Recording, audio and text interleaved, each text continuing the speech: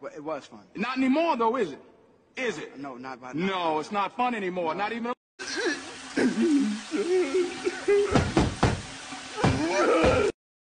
Fuck off. Okay. you. How dare you say such a thing? That is insanity. Um, this is normal. This is my life, so it's like whatever. I'm full of energy, man. You know what I mean? I'm feeling real good. I'm not, I'm, there's no pain, no stiffness. I'm loose, I'm supple, I'm energetic, I'm fast, I'm dangerous.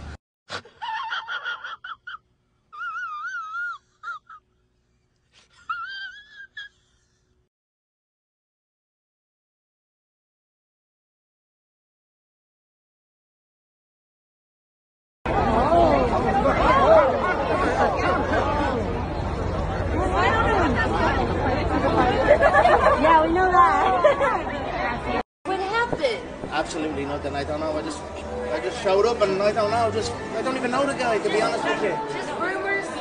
Just rumors. Nothing happened with me. I only fight real fighters, people that actually fight. You know what I mean? I certainly don't fight little vanilla boy rappers. You know, I don't even know the guy. I don't know anything about him except that he's with Megan Fox. Someone just told me you had a little scuffle with Conor McGregor on the carpet. What happened? Okay, thank you. Yeah, I love you, nigga.